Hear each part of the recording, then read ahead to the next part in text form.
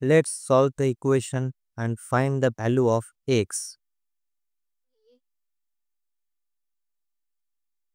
Solution Cross multiplying both sides, we get x minus 2 is equal to 2x minus x square or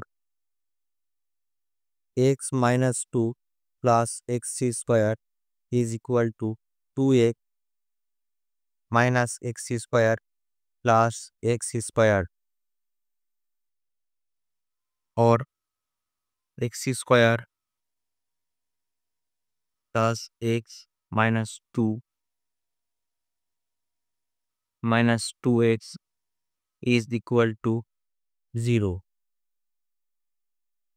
or here x is common so x into x plus 1 here minus 2 is common minus 2 into 1 plus x is equal to 0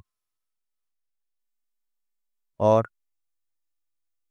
x plus 1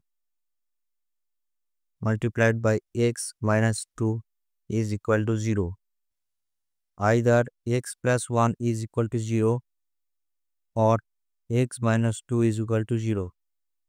Therefore, x is equal to minus 1 or x is equal to 2. These are our answers.